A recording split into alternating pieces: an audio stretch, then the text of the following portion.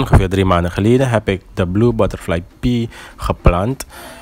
Vandaag ga ik thee maken ervan, omdat het uh, een antioxidant is. En ik merk dat het veel um, voordelen met zich meebrengt. Ik ga het combineren met uh, lemongrass. En je moet dan eigenlijk um, eerst oh, dat water goed uitkoken.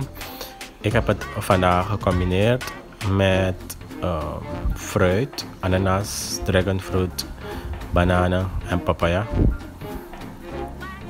Als je het goed uitkookt, dan geeft het een blauwe kleur, blauw, violet kleur. En het is ook goed voor je lichaam, voor je ogen. Yes.